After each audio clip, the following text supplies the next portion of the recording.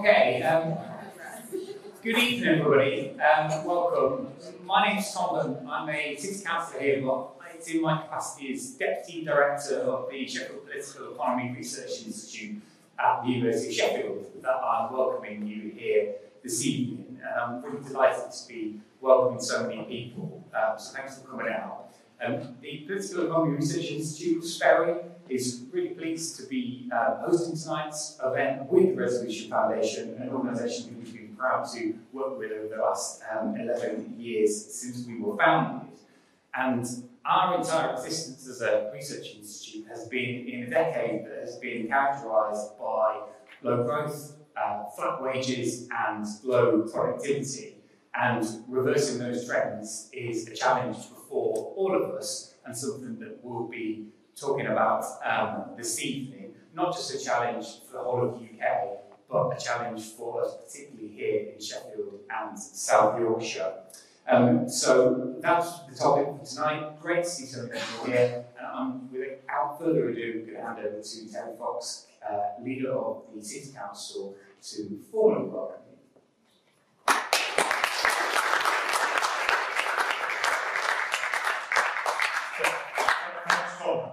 thanks everybody for coming tonight. My name is Councillor Terry Fox, I'm the leader of Sheffield City Council. I'm so proud to be a leader of my own city. It is absolutely one of the most uh, rewarding gifts that one gets, certainly to introduce about prosperity of South Yorkshire. Um, I spent 30 years in the pit, and so I come from a background of quality long-term jobs and the security and the confidence that that gives you in a world of work cannot be underestimated. But as everybody knows, for one major industry, there, there was decimation. But that does not mean that then we just fall flat on our face. It, it's how we pull ourselves up, how we kind of look forward. And Sheffield, being one of the eight core cities, is a determined driver of wealth and prosperity, certainly in South Yorkshire. You've got a fantastic guest tonight to, to, to listen to a lot better than what I can put it over. All I can say is from the communities that we represent and from the people and residents of Sheffield, it is a real kind of driver that we want to be part of a very prosperous South Yorkshire. I'm very proud to be within that. And when you look what we're driving on with the AMRC, with AMID, who would have thought in my lifetime that I would have been talking to the directors of Boeing, McLaren, Rolls-Royce, and those executives actually buying houses at what was Orgreave and what we now call Waverley. So when we see the legacy of the past, but we see the vision of the future, we should all be buying into that. And we should all have that kind of ambition and that appetite to be able to push forward. People talk about the enterprise zones, they talk about investment zones, talk about innovation corridors. What does regeneration actually mean for the people who live and want to go into South Yorkshire? So I have a real desire about skills, about knowledge, but also about our communities and how we all come together to share, to share that prosperity that we can give. So hopefully tonight you'll hear from, from our guests who will all tell us and give us that opportunity to have that input. And certainly within this fantastic, fantastic area of our Nelson Mandela room and our mirror room in this town hall that has seen so many times and so many great achievements in this room alone. So I hope you, you get out what you put in and also a big warm welcome from Sheffield City Council. So I'll hand over to Torsten now. So thank you.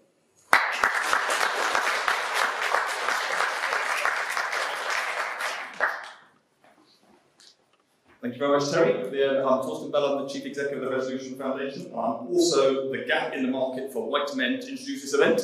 The, uh, so I thought I would get going. Three is about as many as you need for every good event I found for most of the 20th century, so today is not going to be uh, an exception. The, um, now, for those of you who don't know, the Resolution Foundation is an economic research charity focused on raising the living standards of um, households on low and middle incomes. The, um, uh, now, um, in general, there anything is too much economic news around at the moment. You've got a banking crisis. If you're really keen, you've got the budget last week to pay attention to, And then there's the big one that we're all living through, which is a cost of living crisis, which is leaving us all feeling as humans, inflation at 40 year highs. You looked at the forecast from the government's official forecasters last week, which obviously you're all not sad enough to have done. But had you done that, then you would have seen forecasts for 6% living standards falls, 6% income falls over the course of this year.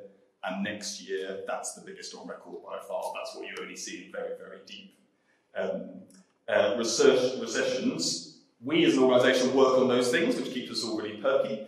The, um, we all live those things because we're all dealing with those economic forces in our lives, in our jobs, and in our um, shops.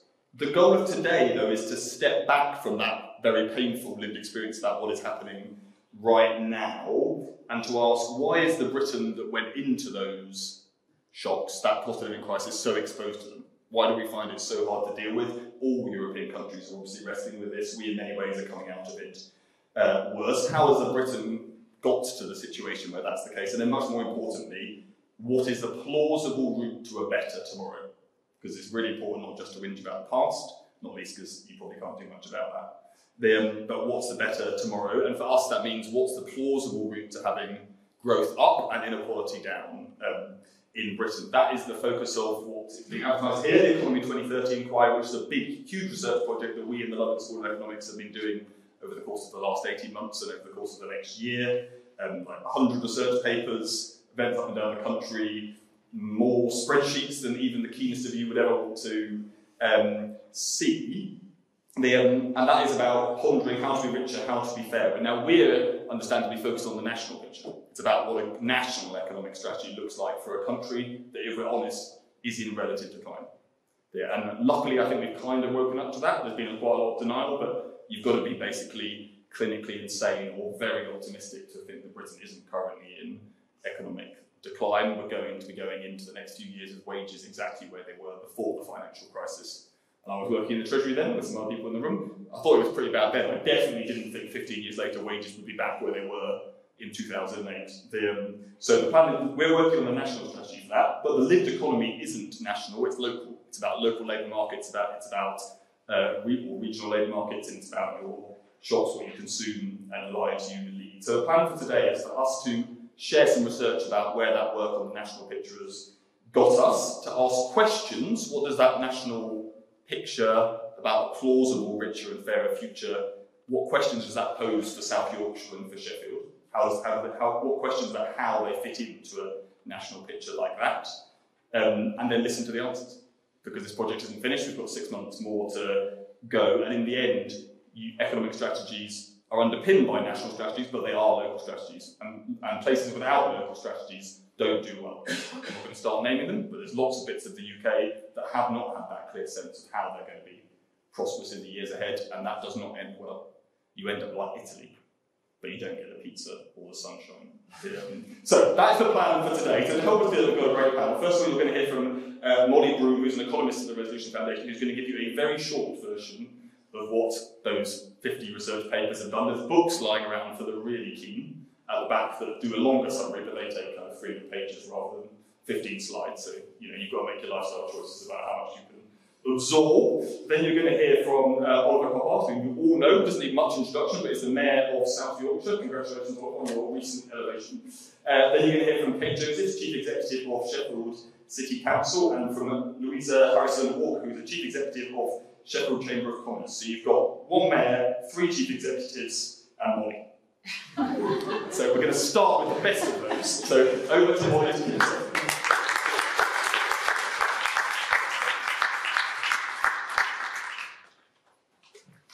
Thanks, Torsten. Um, so yeah, I just have the small job of summarising a 150-page book in the space of 10 minutes. So I'll see how I get on, but there's books at the back and I strongly encourage you to read it because there's lots of good stuff in there. Um, so if we go on to the next slide. So as Torsten said, the UK finds itself in a period of relative decline, and this has been driven largely by our poor productivity performance. While it's true that productivity growth slowed in most countries after or around the financial crisis, the UK slowdown has been exceptionally severe. In the 12 years following the crisis, labour productivity grew by only 0.4% per year in the UK compared to an average of 0.9% among the richest 25 OECD. And this chart here shows that weak productivity growth has translated into stagnant real wages. And these have been falling again as we've experienced high inflation. Wages are now approximately at the same level as they were before the financial crisis, and that comes at a cost of around £11,000 per worker per year, compared to a world in which pay growth had continued to grow um, on its current uh, its pre-financial uh, crisis trend. So next slide, please. The UK has been living with flatlining wages for the past 15 years, but it has been living with high inequality for even longer. This chart shows the Gini coefficient for disposable household income, which is a measure of disposable, of disposable income across the population. A lower value means that household incomes are more equally distributed across the population. Here we can see that income inequality has incre increased during the 1980s and it has remained elevated ever since. In fact, the UK has a higher income inequality than any other major European country. High inequality combined with the weak growth that we've seen is a toxic combination, and this has translated into particularly poor outcomes for low to middle income families in Britain. This chart shows how incomes in Britain are the bottom, middle, and top compared to other European countries. So, looking at France, we can see that the 90, 90th percentile of households in Britain have higher incomes than those in France, and this is shown by the turquoise bar being below zero. Moving to the left, the dark blue bar shows that typical household incomes in Britain are 9% lower than typical household incomes in France. And then finally, the red bar shows that low-income households in Britain are 22% poorer than their counterparts in France. And this is equivalent to £3,800 per year. So the story of uh, low productivity is also important at the local level too. Productivity in South Yorkshire is 20% lower than the national average, shown by this chart on the left.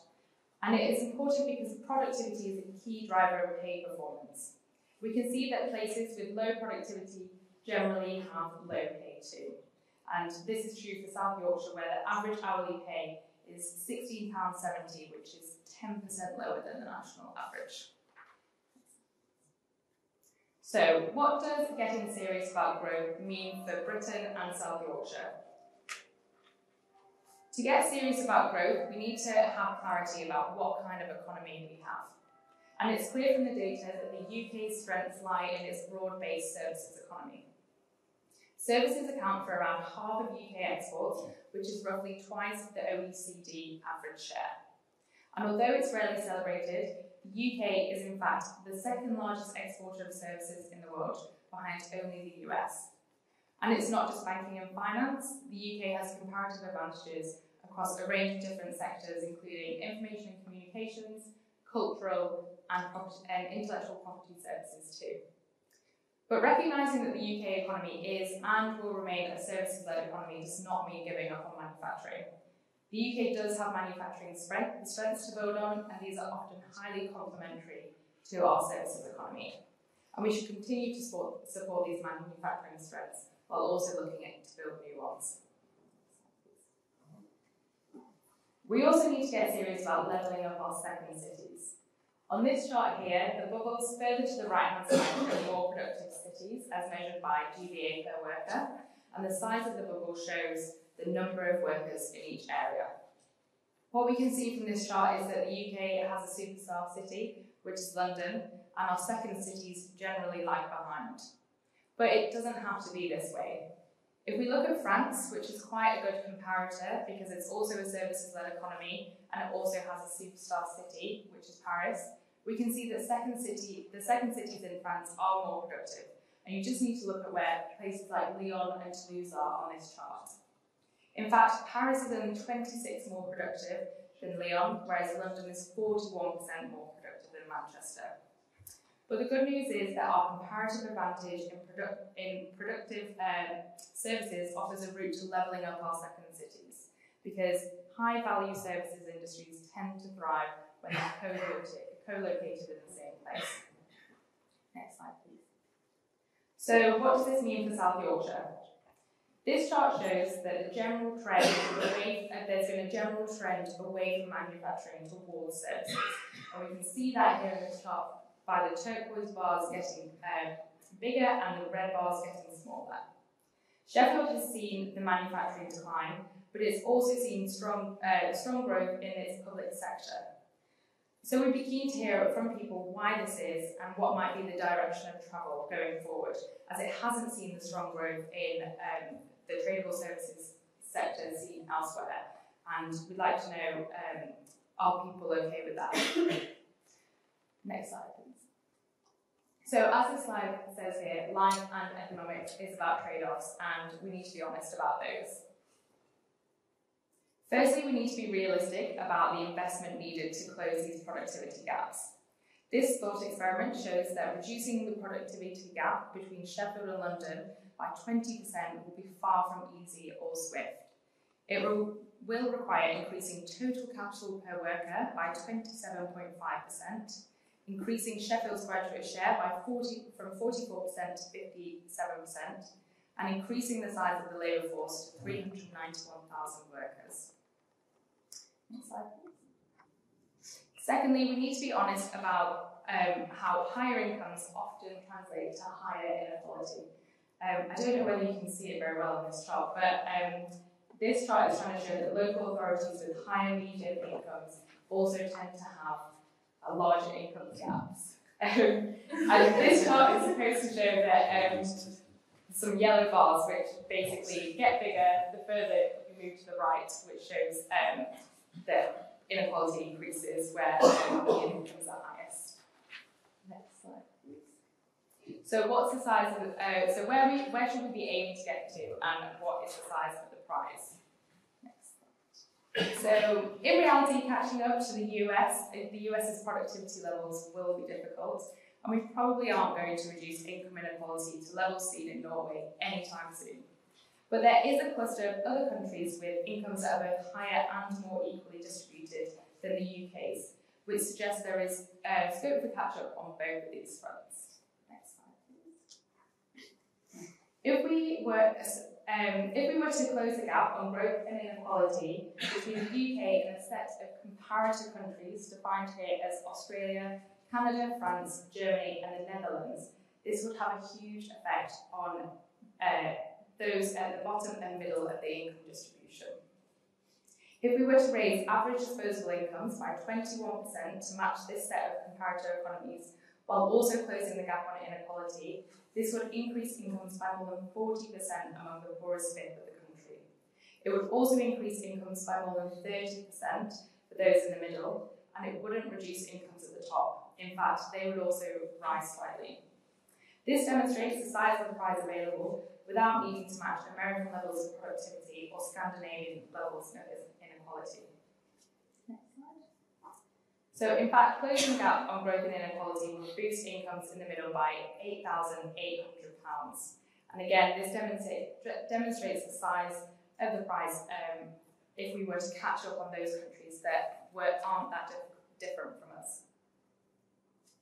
So this is the final slide from me, um, and I'll just summarise. So low growth and high inequality has been a toxic combination which has been particularly bad for low and middle income families.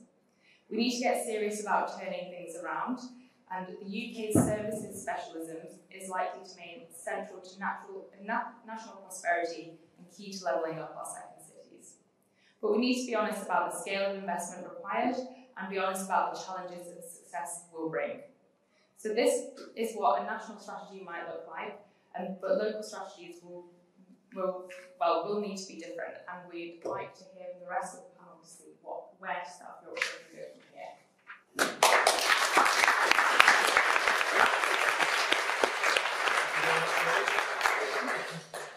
Thank you. I was going to start with a joke, I'm thoroughly depressed. we shouldn't be. Um, thank you, Molly, for the presentation. Thank you, Torsten, um, for being here as well. Um, it's great to have this conversation. I think it's an incredibly important conversation for the whole South Yorkshire to be having. What I find really important when we have these conversations is thinking about the challenges and the goals, but thinking about the time frame that we face. So this is a conversation about what we want the economy to look like in 2030. When I took office on May the 9th last year, nearly a year ago, it was 400 weeks um, until 2030, which obviously isn't long, but now it's just 354 weeks. And if that still feels like a long time, you might want to remember that it's only 351 weeks ago since 2016, uh, which is obviously when we had the referendum. Um, and so I say that for two reasons. Firstly, 2030 is just right around the corner, much closer than it otherwise might feel. Because I don't know about you, 2016 just feels like it was the other day. Um, a lot has clearly happened, too much has happened, frankly. I think we all bear the scars since June 2016. I was the um, I was the director for the referendum campaign, the Remain campaign, up here in Yorkshire and the Humber and Lincolnshire, so I certainly bear the scars on my back. Um, but looking forward, the horizon does feel much more open and cluttered, like we actually can change things from this position that we're in right now. My team write these notes for me and they call this the Coppard empty horizon theory, which I'm not sure is particularly going to catch on, but I do want to try and pers persevere with it. Uh, because I do think it underlines that need to identify some of the core challenges, the things that we are going to fixate on and focus on over the next um, 354 weeks from today. So let me just point to a few of those, which will hopefully get the conversation started. So there are some things that I think are absolutely fundamental if we want to have a bigger and better economy here in South Yorkshire. Um, firstly, we're going to resolve our trade relationship, not just with the EU, but with the rest of the world. So we were just having this conversation uh, backstage earlier about the balance between services and manufacturing. I was pleased to hear that manufacturing is still part of our future because you're right that we need to lean into the service sector. But in South Yorkshire, we also need to build on our advanced manufacturing sector and, and our heritage and our strength. So exports in that area do matter. The OBR forecasts a 15% fall in trade when compared to our pre-2016 terms of trade, and we have to, absolutely have to resolve that issue because no one expects to uh, work 15% less and still earn the same amount of money. And um, we will restore private investment, and we say we will restore private investment and rationalise public investment. So private investment, certainly in South Yorkshire, has flatlined. It is 16% below where we would have been had we not left the EU, and that absolutely obviously can't continue. The same applies to the public investment, the endless rounds of competitions, which all too often South Yorkshire has been on the fuzzy end of. Um, just the other day, levelling up funding, South Yorkshire didn't receive its £7 million there. Um, £474 million that we bid for from the BSIP fund, and again, South Yorkshire didn't receive any money there either. They are they have been dreamt up because they provide a good announcement, but they don't actually help us to level up this country, and we need to fix that. Um, it's one of the great distractions, I think, from resolving real problems. So we need a fair funding formula uh, for South Yorkshire and the rest of the North. Andy Burnham and I have both talked about the Barnett formula for the North, and I think that's a, a good idea. Uh, we will have acted decisively on net zero, so retrofitting thousands of homes to save money on bills, provide warmth, reduce our energy consumption, and realise the opportunities for our economy of hitting those net zero goals. All too often we talk about hitting net zero as a challenge, actually as a huge opportunity too for places like South Yorkshire and the virtuous circle that it can create. Number five, through devolution, we're going to truly take back control. Um, I think that is fundamental to me and my role most of all. Power needs to be aligned with accountability, that's true. I don't want my own uh, South Yorkshire Standing Army, although some people in the room may do. I don't want to say on how local bus services run with a democratic mandate, and um, the core economic services, transport, housing, skills, the services that affect people's day-to-day lives, but particularly the economy, need to be vested in this region where we are closest to those problems. I think that's ultimately key, not just to fixing the economy, but restoring faith in our politics and our democracy, which I think we'd all agree has been damaged fairly fundamentally over the last few years. And then finally, and the point I will end on, last but not least, uh, we will have developed in that time or begun to deliver a strategy and a vision for South Yorkshire that is forward-looking, optimistic, and has growth at its heart. And I want to leave on that point, growth at its heart. There is no sustainable future for South Yorkshire that isn't significantly wealthier and more united behind that goal. So I'll leave it there. Thank you very much. Thank you very much, Robert. Good. Finish on some growth, we finish on some optimism. It's less depressing than the charts. Right, now you're going to get from Kate. Then I'll go through Thank you very much, both. Um, I'm also going to try and segue from gloomy, depressing things to optimism because everyone knows me knows that's how I try to live my life. It's lovely to see you all and to be here. And thanks to Torsten Resolution Foundation for, for coming to Sheffield today.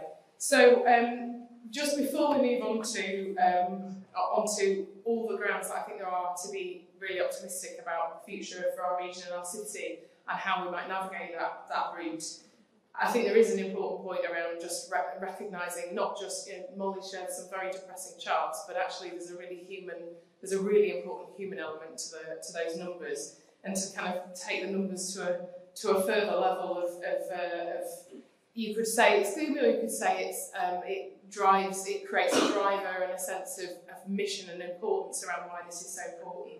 We know in this city here in Sheffield that the inequalities that we see are, are so incredibly stark. The healthy life expectancy in Sheffield is actually one of the highest in the core cities, but what that masks is a difference between the northeast and the southwest of the city of 15 years of healthy life expectancy for women and 14 for, for men um, in this day and age. Food bag use doubled between 2019 to 2020 um, and is now at 91% compared to 41% nationally. Um, and that the, those inequalities are particularly stark for um, black and minoritized ethnic communities in our city. We know, for example, just as an example, that the Pakistani Bangladeshi population has the lowest employment rate in the city and far lower than the national average. And finally, just to add to the kind of human element of this, um, we know also know that where that inactivity is a huge problem nationally, it's a massive drag on our economy, but on, in, in this city, 30% of those inactive in the city are due to long-term illnesses. So I think there's just something really important about not being defined by the inequality that is real, but also not being um, naive about how stark and how entrenched it is. But as I said, I do want to try and be positive and to try and flip this conversation a bit, because the question we're being asked is, well, with these challenges, with these incredible um, uh, headwinds, how do we navigate a route to a fair and prosperous uh, future for our region and for our city? And I think, you know, to, to sort of overuse an analogy, if we're talking about navigating a journey, the first thing is we do need to know where we start, and it isn't all gloomy. Um, yes, we know that the private sector is underrepresented in Sheffield, as, as uh, Molly set out, but we also know that there's globally relevant growth areas. Yes, advanced manufacturing, but also, and also, uh, the low carbon economy, satellite telecommunications, medtech and innovation, applied research around well-being, and digital tech, and let's not forget the creative industries, which are huge in this city and huge in this region. Those are incredible assets to be building from. We have amazing academic expertise. I don't think there are many cities outside of London that can boast two globally renowned universities with genuinely, genuinely complementary strengths um, and um, actually, I was expecting Oliver to say more about innovation corridors because he normally talks about, about that. So I was, I, I was going to gloss over it. But what we know is that we've got the foundations of a really incredible innovation cluster right here in Sheffield and in South Yorkshire. And while business startup rates and high growth businesses are not where they need to be, we also know that our business survival rates are among the highest of all the core cities. And that's something about the tenacity and the creativity and entrepreneurialism that is in, that I believe is a huge part of our culture here, um, complemented by a really thriving social enterprise and VCF sector. And then finally, like a stat that I think we just don't do anywhere near enough with, we have an incredibly highly qualified population in this city.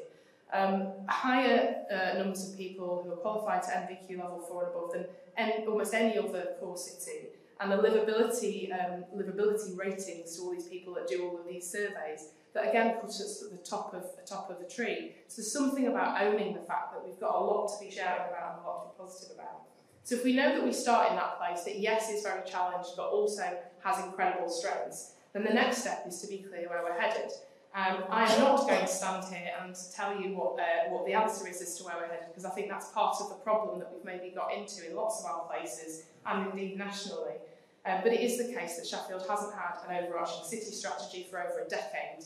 And without that, it's very hard for any of us to, any of us, and, and I put the council alongside institutions, voluntary sector, businesses, anyone who cares about the future of our city, to navigate the challenges we're facing.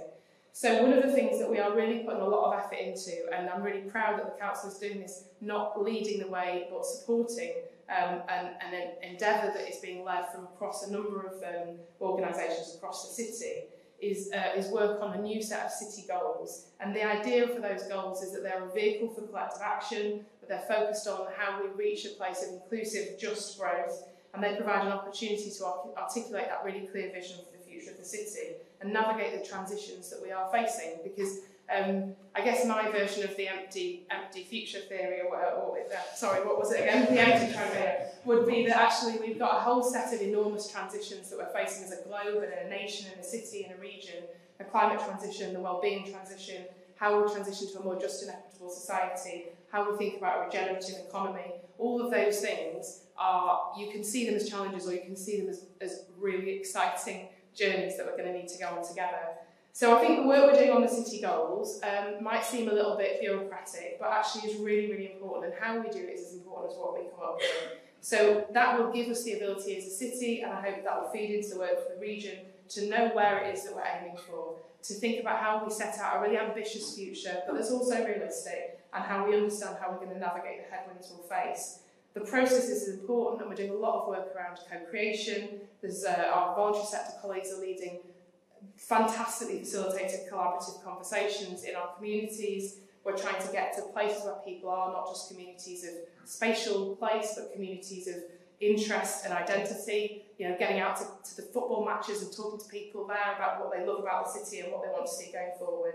Um, and I will plug our uh, sheffieldcitygoals.uk website where you can go on till the end of April and tell us what you think the future of the city should look like because actually that's one of the key things I think about how we how we navigate this transition. We need to navigate in a different way. We need to navigate in a way that is less top down, less controlled, and more participative and more engaging and empowering of all of our communities.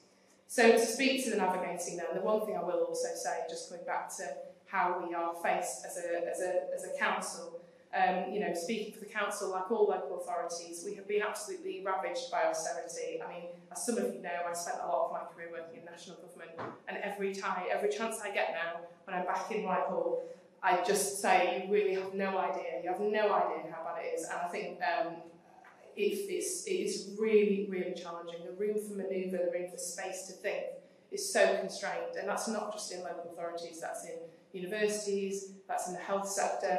So we've got to think about how we create the capability and the space to do this, and that's about more partnerships, more with uh, less to, more trusting each other and building trust, more investment in strategic capability and getting out of short-termism, and thinking about how we lead collectively.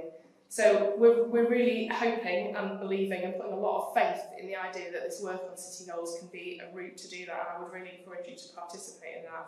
Um, and I'm happy in, you know, in talking the conversation about potential about specific examples, but to give a few, just the work we need to do, for example, on culture in our city, the work we need to do on uh, heritage in our city, the work we need to do on reimagining the city centre, all of those things will be far better if we do them ourselves, not driven top down by what a Whitehall framework says, but driven by what we know about our city and what we know about our strengths. So on that, I hope that is a bit of a positive um, alongside the, the, the gloom. Um, I'm really happy and excited to be talking to you about it later. I'll hand over to.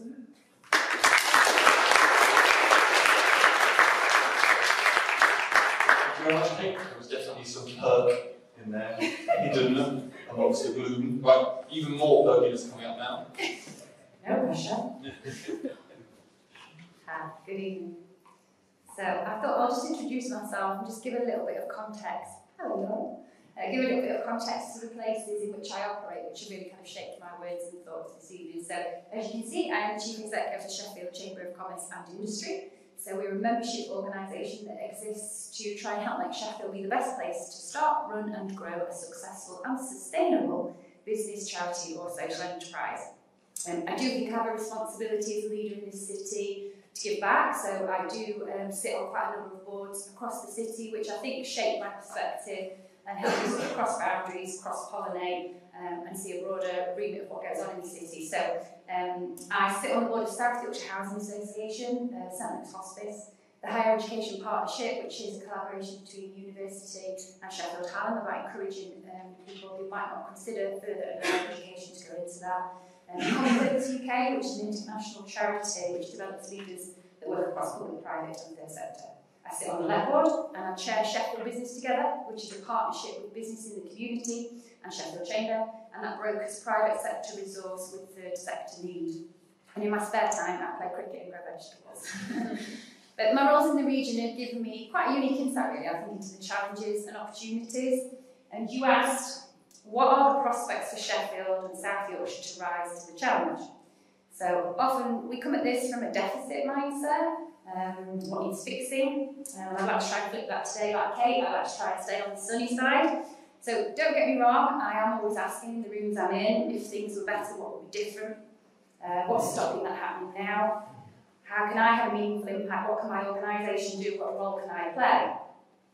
And I'd like to illustrate by talking about four C's. So competition, collaboration, co-design and communication.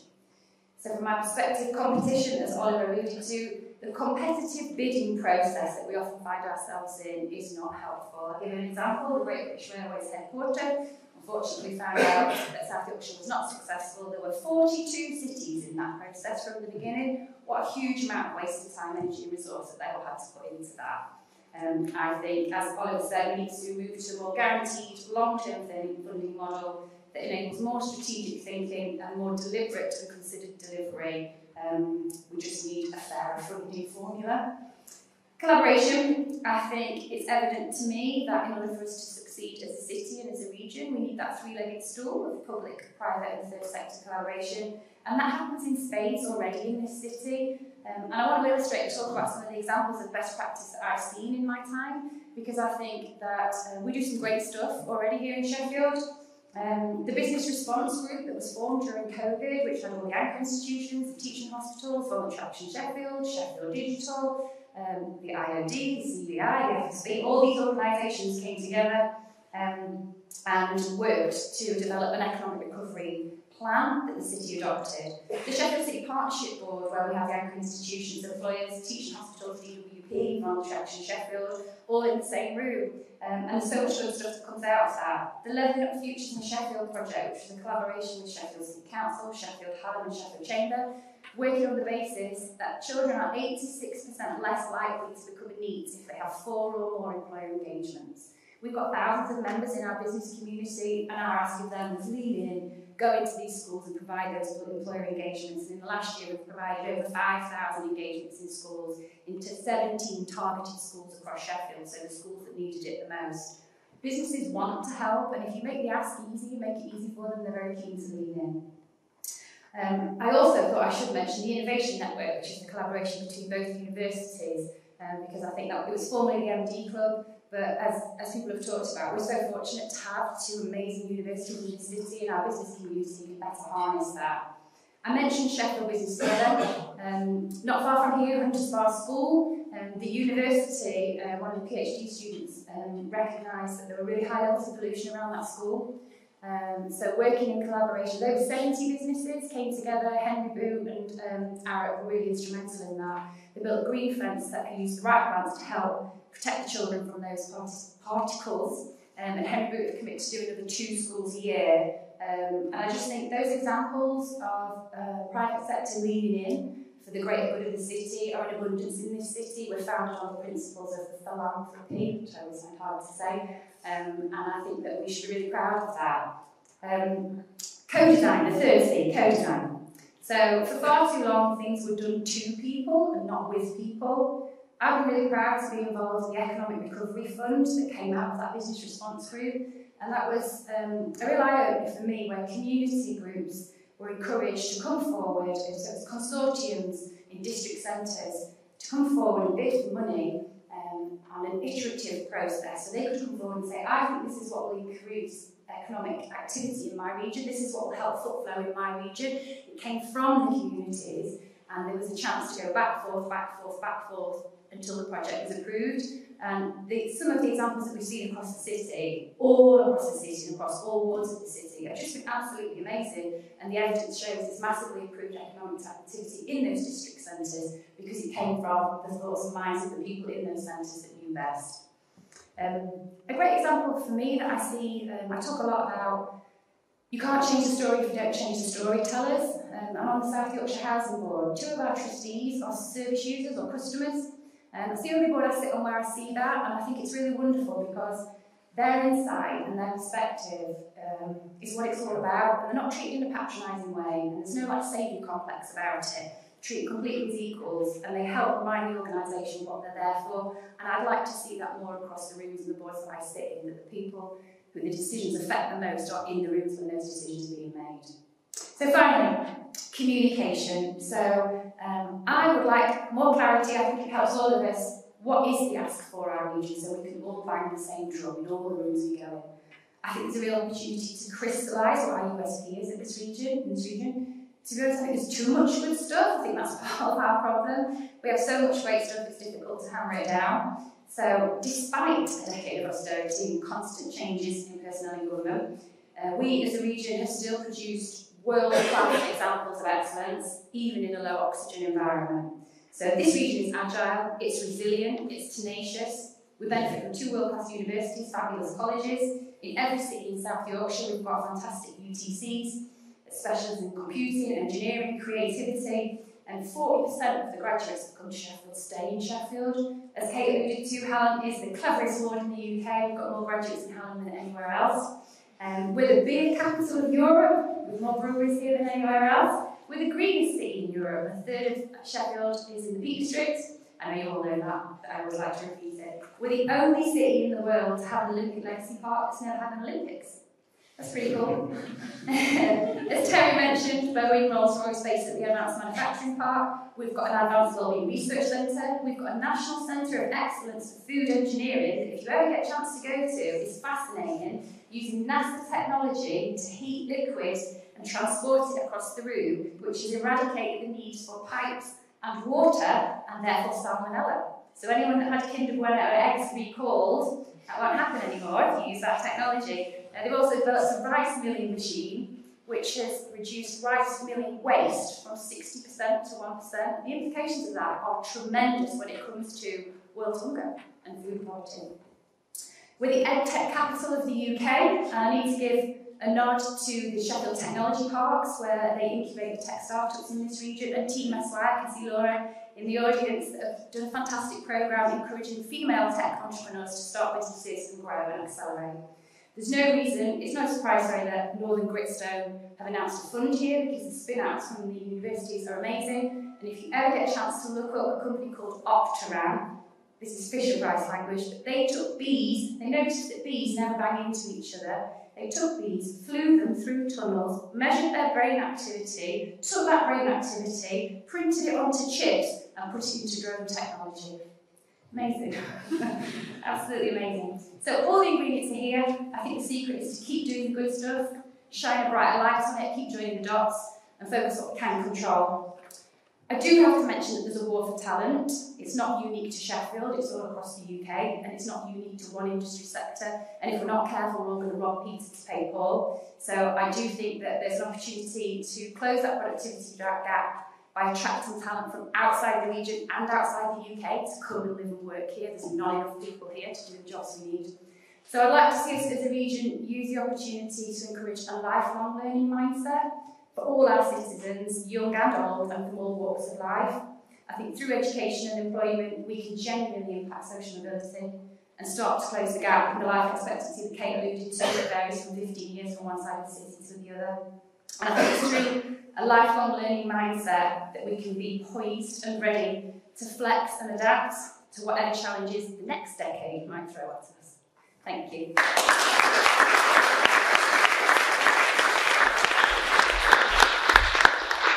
Not only did you get a perk, you got vegetables, bees, and Kinder eggs. I did not see all of those coming. They're, right, now the last time I was in this room was for a wedding. It was a very good wedding. There was a lot of energy in the room. Okay? So that is now a hint, which is there's now going to be as much energy in the room because you're going to ask, not going to dance, don't worry. People are looking stressed, the men are looking stressed. There's not going to be any dancing. There's going to be good questions, and that's going to get energy levels nearly as high as a high quality wedding.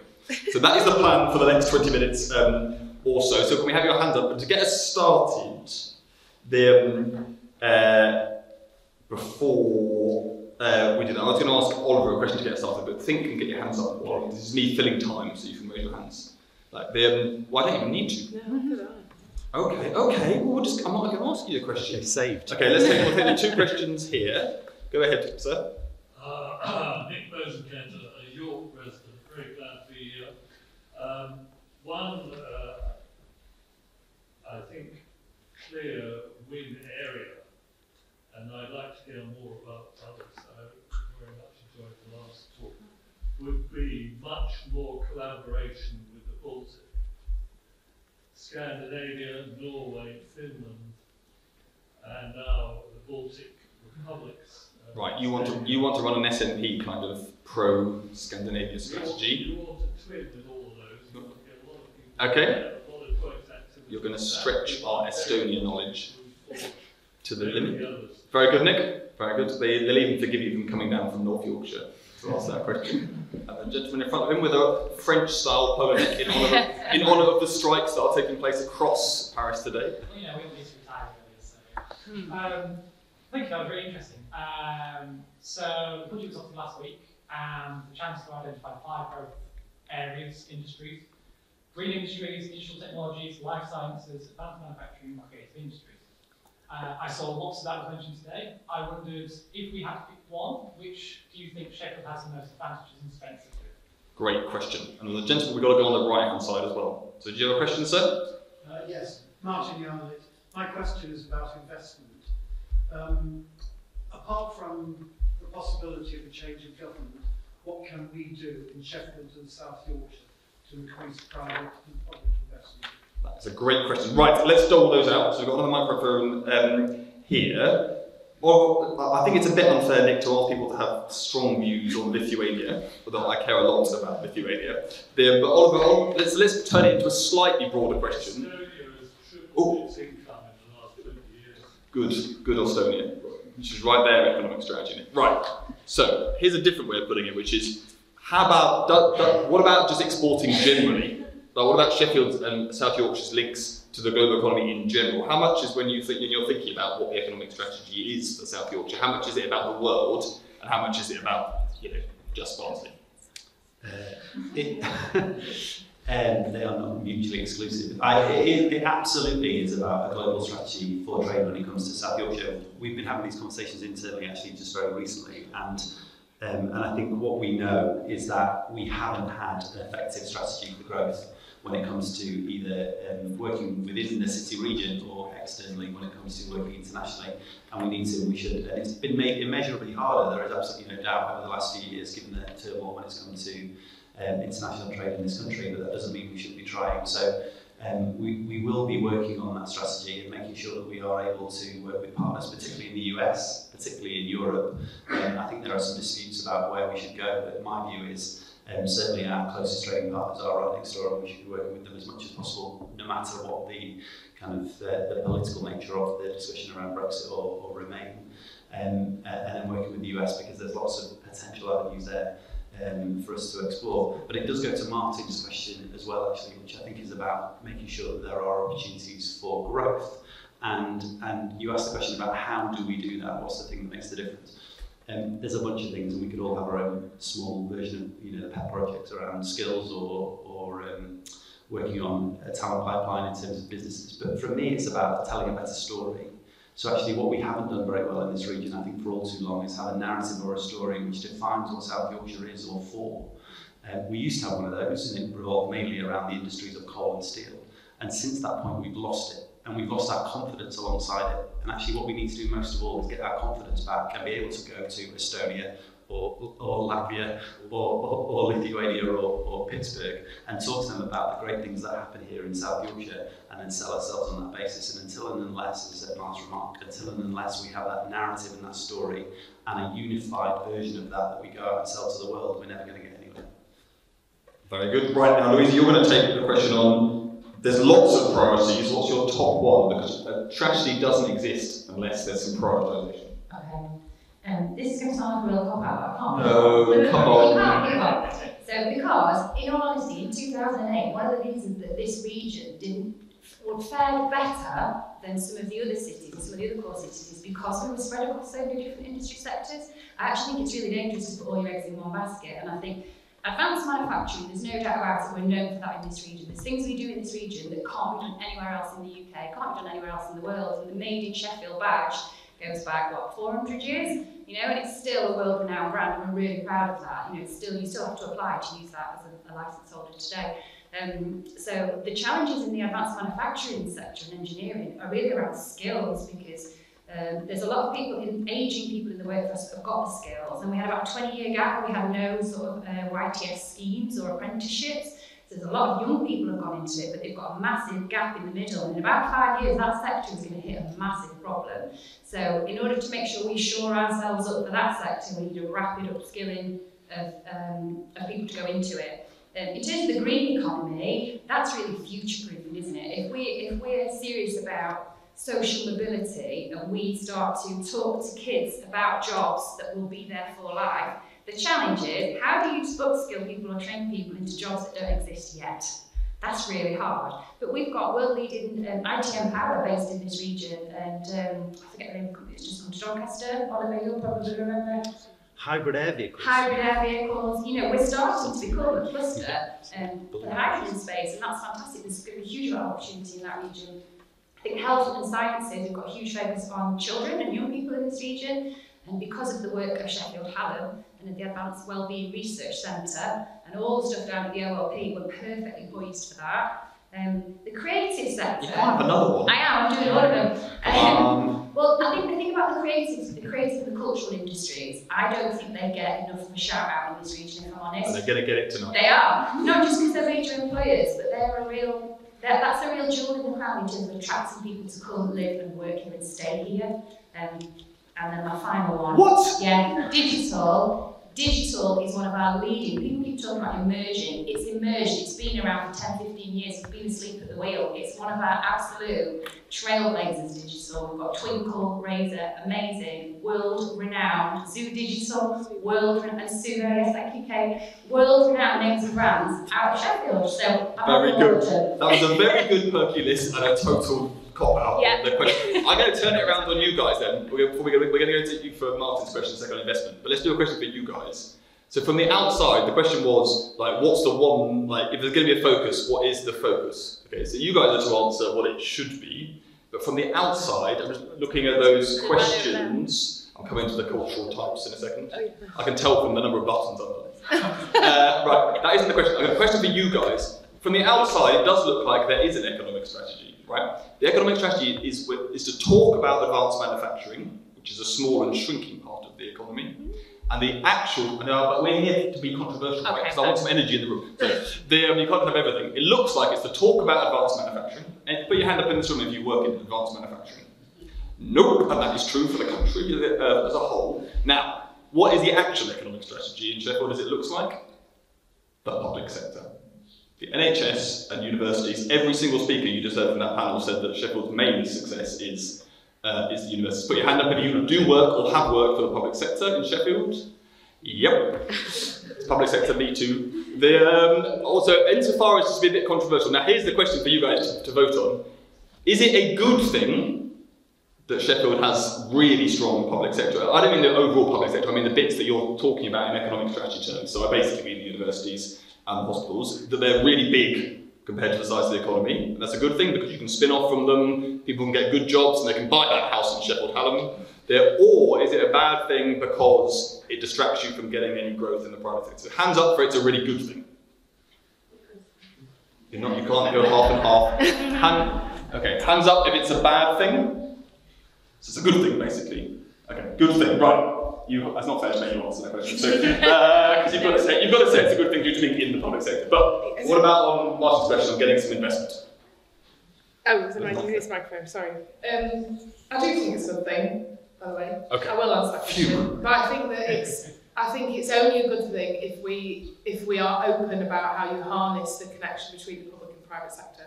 So, um, and if we really capitalise on the strength of the public sector that we have in the city, whether it's universities and hospitals, the civil service, as a former civil servant, we don't know anything about the fact that we've got huge numbers of policy professionals in this city, design policy around skills, around worklessness, around pensions, around, and we do nothing with that. And so I think not necessarily a bad thing, but only a good thing if we if we do it well. Uh, on private investment, um, yes, to absolutely agree with all this point around around the narrative. Um, you know, I, I didn't do my, my life bio when I stood up, but you know, if you think if you think Sheffield's bad at talking ourselves up, try and go Donny. Um, uh, it is it is a real problem the way we talk about and think about ourselves in this region, and that's and it's it's it's, it's the classic thing, you know, great strengths overplayed. We're humble, we, you know, we're kind, we're compassionate, we're easy, you know, it's easy to meet people, but we're also, you know, you can't show off, you can't, mm, you can't say nice. And I think we've got to get better at telling that story because actually, when you're talking about people with money to invest in a place, they they don't just buy the they don't just buy the thing, they buy the idea, they buy the vision, they buy the, the, the dream, and we've got to start being okay about talking about that. There is a practical point though, which is that we've got to have substance behind it. And so I was, I was talking to somebody in London earlier this week about uh, who's, who's intending on writing a book called Governing is Boring, um, which uh, I wasn't sure the title, but, but the point is very true, which is there's a lot of really boring basic stuff we need to do that we haven't done. So we haven't had things like a really strong infrastructure strategy, a strong energy strategy for the region. We haven't had the basics, the underpinnings that mean that once we get past this, the door with our visionary story, it doesn't fall apart. So alongside the story, we've got to do the basics. We've got to get a pipeline of investable propositions. We've got to get the, um, the you know, all of those underpinning strategies in place. And then I do think there's a ton of interest from, uh, from, from the private sector, from pension schemes, from patient capital, from other countries. This is an exciting place with potential. We just need to get those things connected together. Great. Right, let's take some more questions. They can be from the back if I can't see you uh, properly. So, as a gentleman with the unbuttoned shirts, go ahead first. Hi, uh, hi, uh, Tom the Chief Exec, Sheffield Theatres. that's, I told you, we're all stereotypes, but just different ones. And that's fine. That's fine. That's just being human, mate. Right, go ahead. You got me. I do want to help the panel uh, prioritise, unsurprisingly, and put the greater sector first. Um, just right now, at the moment, uh, a new musical's been made called Standing at the Sky's Edge. Uh, it's played to uh, it's played to tens of thousands of people in London and uh, it's the most sh nominated show at the Olivier Awards. And this is all a short way of saying, on the other side of Tudor Square, we're making better theatre than they're making in the South East. Yeah. And so if there's one thing Sheffield can definitely shout about, and South Yorkshire can shout about, it's the cultural sector. So Good plug.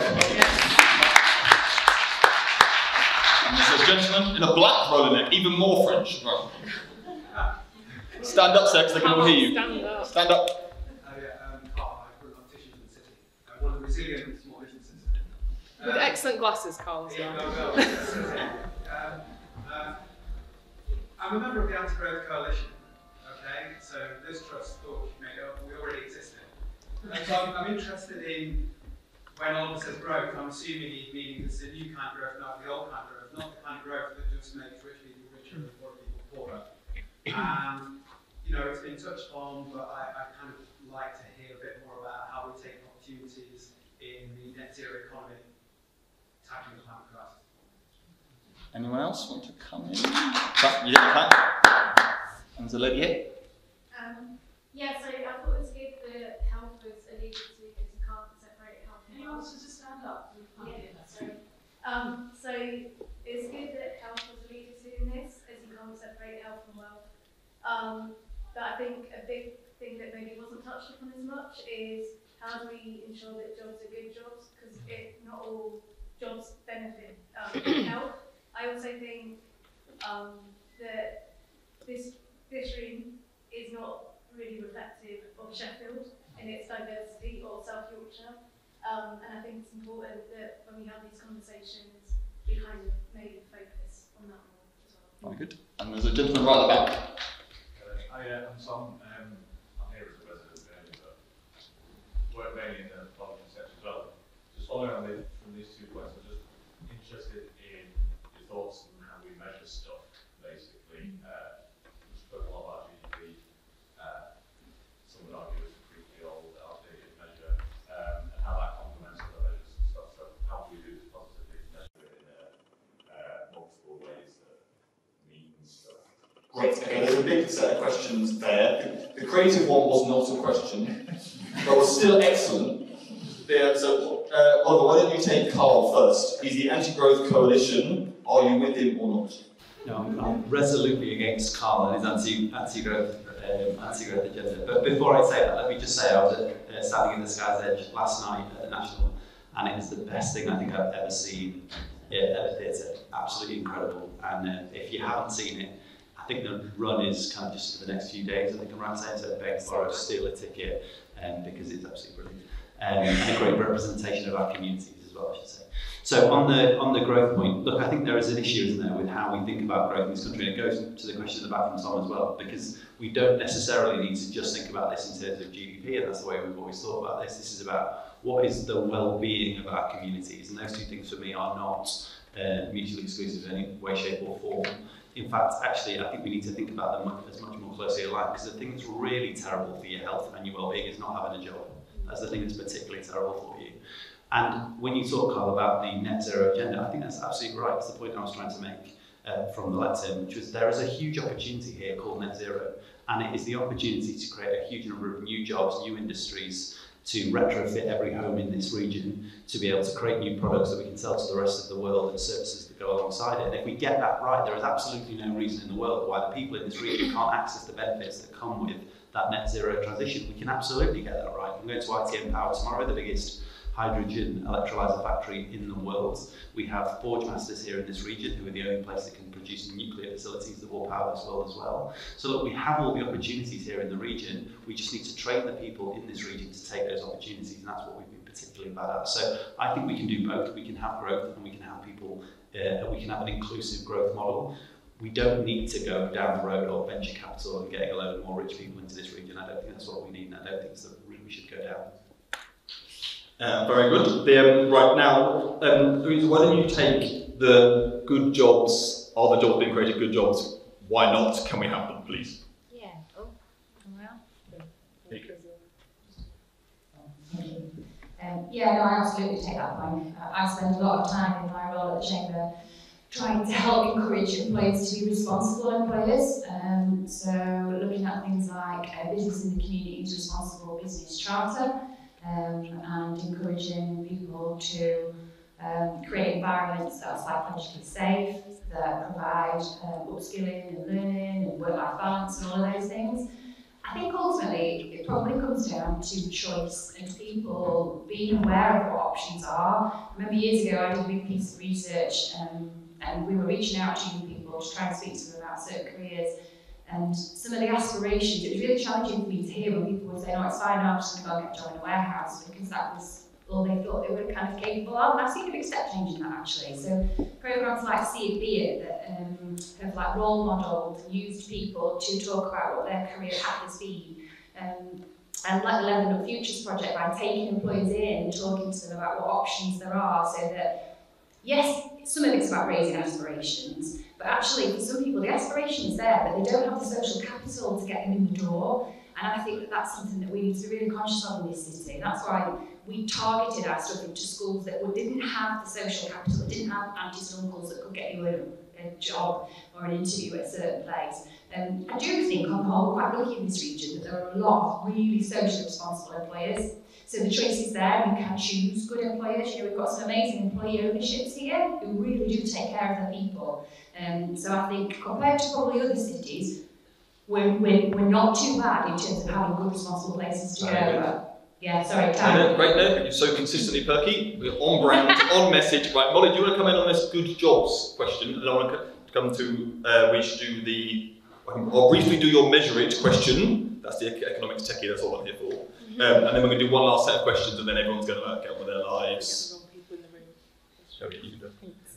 Um, yeah, so we've spoken a lot about whether it should be advanced manufacturing or whether it should be public sector, but we need to remember that there's lots of uh, non-tradable services as well. Um, and this strategy, this national strategy is sort of looking at um, how we can get people to move from the non-tradable sector into more productive sectors and whether we can do that through things like transport, improving um, education, on-the-job training, um, but for those that can't move from non-tradable um, sectors, we need to ensure that those jobs are good jobs, and we can do that by um, improving uh, conditions. So there's um, a stat in Stagnation Nation where half of um, shift workers get less than one week's notice of their shift patterns, and that's something we can definitely improve on. So improve the quality of those jobs, and also improve the pay of those jobs. So whether that be sort of more widely um, adopting sort of the national living wage.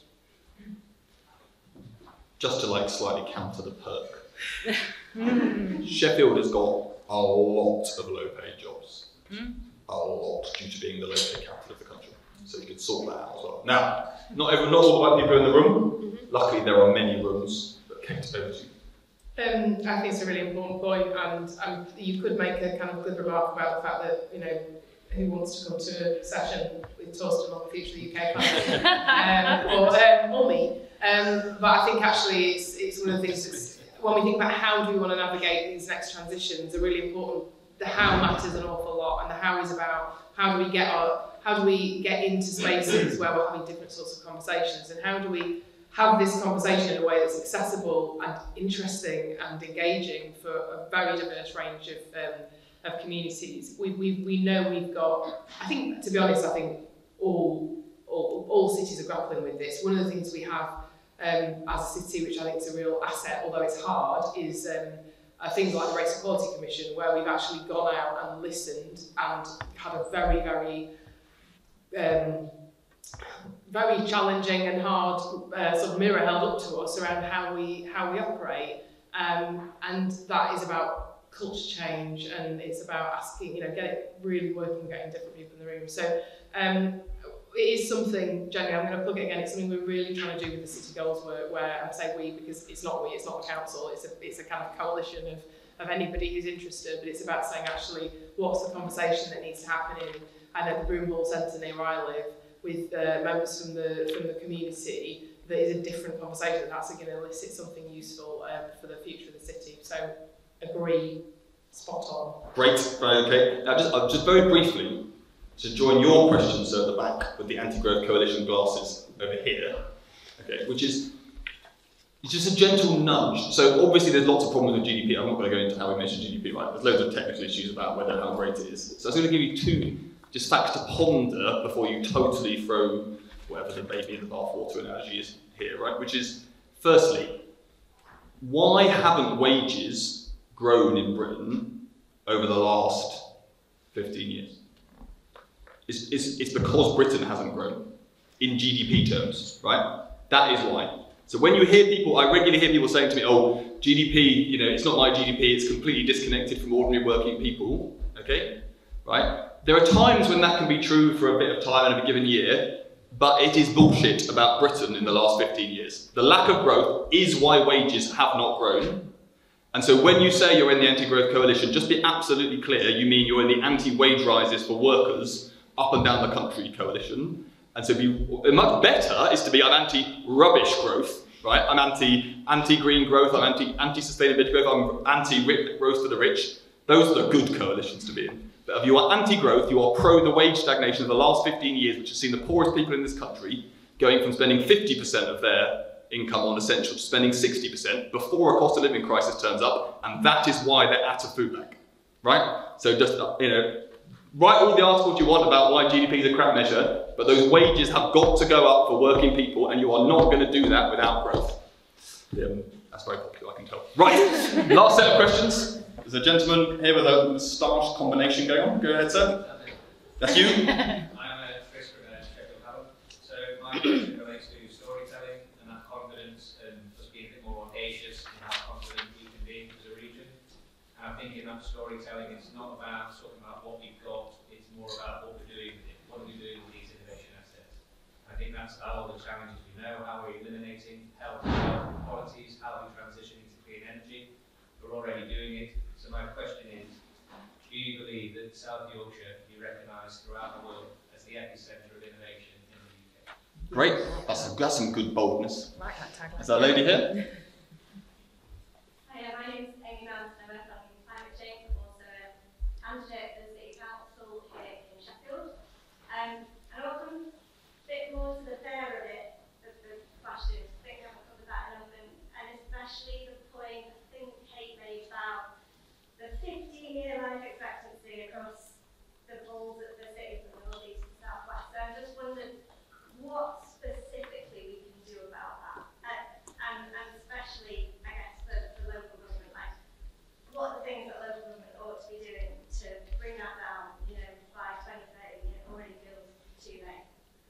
Great question. Um, gentleman here, and then I'll come to the lady over here, and then we'll wrap up. That's you. Oh, great. Go, go. Hi, I'm Dan Turner. Um, I think I want to just challenge the panel because we don't want that. so, if we already have all these great assets, if the service economy is going to be the future, or if advanced manufacturing is going to be the future, and we've tried the service economy in you know the 1990s and 2000s, that was a big push. We've tried advanced manufacturing here for decades. What's going to be different this time to make it work? Very good. Uh, Dan, there's a lady over here to wrap us up. She's finished her wine, so it must be bad. Um, I'm not an economist, I'm a relatively recent resident of Sheffield, but when I first came, which was before the pandemic, um, there seemed to be a head of steam on the fact of having a really ambitious net zero strategy um, by 2030, about looking at community wealth building seriously. Um, there has been talk about partnerships, but I want I wanted some specifics as well. Where are we two or three years on from some of those commitments? Because they do seem to me are some of the directions that we need to go in. Great question. The wine has done its job. Well, right, Oliver, storytelling. Can we have some forward-looking, not just some it's all great what we've got? Can I, can I just quickly reflect on your point about GDP and the fact that we need more growth? Because I just want to tell a very quick story about um, why, for me, I'm not part of the coalition and why growth is so important. So when I was campaigning to be mayor, I went to the S6 Food Bank. I don't know you know the S6 Food Bank was down in Walkley in Tom Hunt's ward. Um, there's a guy called Chris that runs the S6 Food Bank. Chris um, is a brilliant bloke. Uh, he used to run the food bank when it was up at a church, St Thomas's Church. It was the back room of a church when I was running for Parliament in 2015. When I went to see it last year, so 2022, just seven years, later, we've been locked in. That is the least subtle hint. At the wedding, that didn't happen. um, when I went back to the S6 Food Bank last year, so seven years later, it's in a warehouse, and I was talking to Chris about what was going on at the, the food bank, and he told me that not so long ago, um, there'd been a boy who'd been brought to the food bank on his sixth birthday, and he'd been brought there because um, it was the closest that his parents could get to a day out. That's why they took him to the bank. He was six years old. Now, you know, we can all have our kind of ideas about how to grow a more equal economy and all the rest of it, and, and, and big ideas about economic growth, but fundamentally, as Kate said in her presentation, this is about people, and mainly it's about poor people in our region not having enough money, not having enough money to feed their kids, do something nice for them on their birthdays, turn the lights on, turn the heat on. And if we're not here to fix that problem, we're not here to do anything.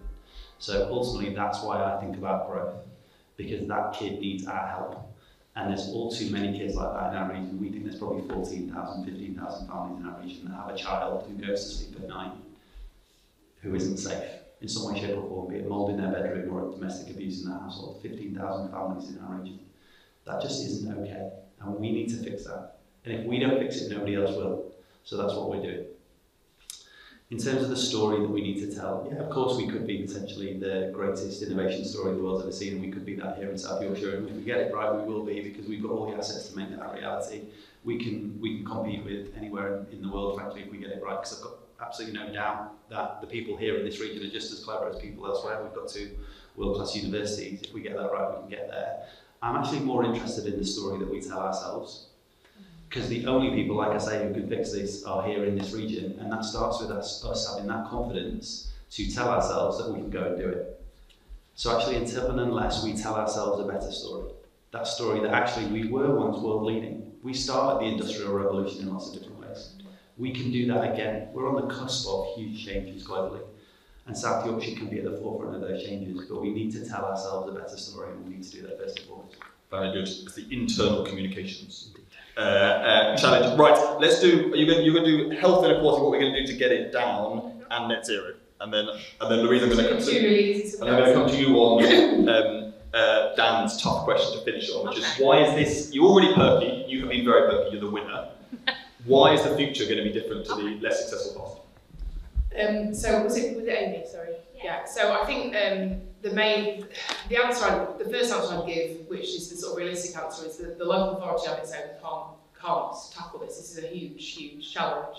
But actually, um, the first step is to say, is this the thing we want to fix? Is this the thing we want to fix in our city? Do we want to be a city that is fairer? Do we want to be a city where this, this entrenched inequality continues? And if the answer to that is, yes, we want to fix it, no, we don't want it to continue, then we need to start putting all of our resources, all of our energy and strategy in that direction. And That links back to Oliver's point, which is that the work we do on uh, our economic strategies, the work we do on our um, uh, where our innovation goes. I mean, if you go, if we think about some of the stuff that ha is happening at Hallam in the Advanced Wellbeing Research Centre, in what will be the Child Health Technology Centre, those innovations can connect to our communities and, and make things better. So I would say the first thing is to decide, you know, is to really prioritise and to put all our resources in that place. And then um, potentially links to the point around the public sector, like we use our assets in the public sector in these spaces. Um, also, we need to engage, back to the earlier point, with those communities and, and on both sides and make this make this a sort of shared endeavour, which it doesn't feel. It, I often feel like moving to Sheffield, um, reminded me a bit of living in Washington DC, where it's incredibly economically stratified. You know, you live in a neighborhood and on, literally two miles away is the, the kind of murder capital of the US, and you never see it um, because it's so stratified. And I think we can do something about that in terms of how we how we build the future of the city.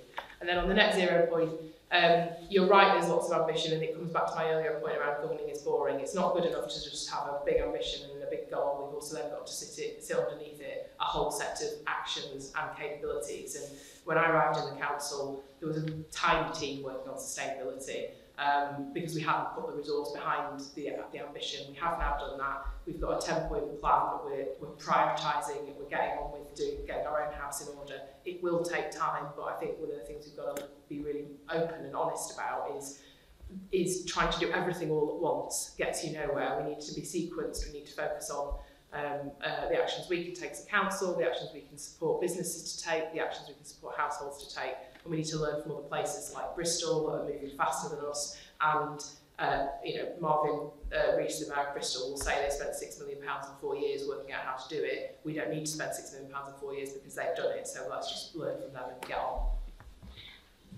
Over to you. Um, thank you. I'll try and be less perky.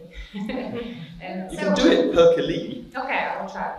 So um, I can only speak of my experience. So I've lived in West Sheffield for the last 20 years, and I think what feels different now is the leadership. Is the leadership um, in the local authority. Kate's been a breath of fresh air. We've finally got a mayor that's actually got some devolved powers, hooray! You know, and so I think actually having people that see the benefit of inclusive economic growth and genuinely collaborate across the region is going to make a massive step change. I think the thing we need to do differently is disagree in private. So what we didn't do well in the past was people fell out in public and we were not considered a safe pair of hands in this region for anything. So I think that's going to be the biggest step changes. I think um, genuinely everybody is really collegiate and does want to collaborate and I think that puts a great you know foot forward and shows us as a region to be somewhere that is you know on the up. Very good. She was perky, you see. Told you. Right, uh, despite appearances, this isn't actually a hostage situation.